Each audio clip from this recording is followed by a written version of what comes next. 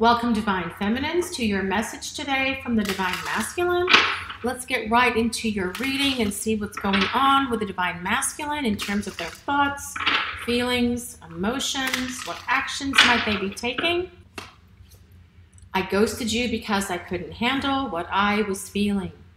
See, they didn't ghost you because they didn't like you. They ghosted you because they couldn't handle the intense emotions, the intensity of the connection, and what they were feeling in their heart and everywhere else in their body for you.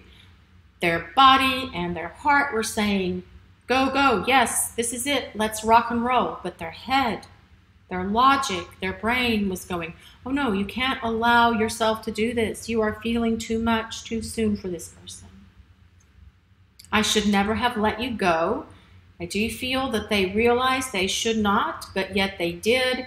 And there is a reason that they did. Perhaps they need to grow, evolve. They have to do their own healing, some inner healing, inner work for themselves. Perhaps they have to let someone else go that's in their lives. For, for some of you, please take from this reading what resonates and let the rest go. If they're till, if they are still tied to a third party or a karmic that's something as well that they have to deal with and work through. But letting you go for that, or you walking away because of that, was the right thing. That was the right action there, Divine Feminines. I'm really afraid you don't love me the way I love you. That's their own fears, that's their own insecurities. Perhaps they don't have a lot of self confidence or self esteem, and, and perhaps they don't respect themselves the way that you do. This is something they have to work on and heal within themselves. I'm not ready to be with you yet. Well, we already know this, divine masculine, because if you were, we wouldn't be here, would we, divine feminines? We would already know that they are with you and they are ready to get this connection moving. But this is telling us they know that they need to work on themselves. They know that they need to grow. They know that they need to heal. Perhaps they need more spiritual awareness and spiritual awakening as well. Like a butterfly, I'm growing, changing, and finding my true colors in life.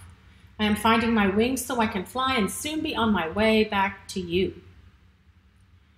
They're changing, they're transforming, they're growing, and your relationship is like the phoenix rising from the ashes to become this better, more beautiful, more glorious thing than what it was before. Because the divine masculine is going to be a better, more glorious person than they were before. I'm awakening to this spiritual connection. Everything is starting to make sense. I feel relieved and also excited for what is yet to come. So I do feel that they have, they are awakening. They're awakening to the connection.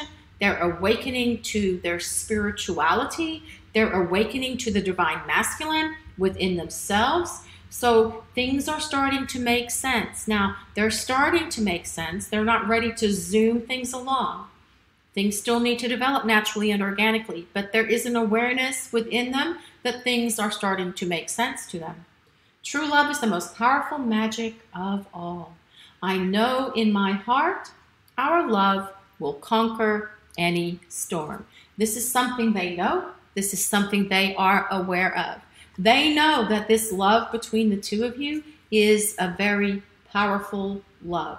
They know your love will conquer any storm, and they are aware of this intense connection that's here. That's the reason they ghosted you to begin with. This is your message today, Divine Feminines from the Divine Masculine.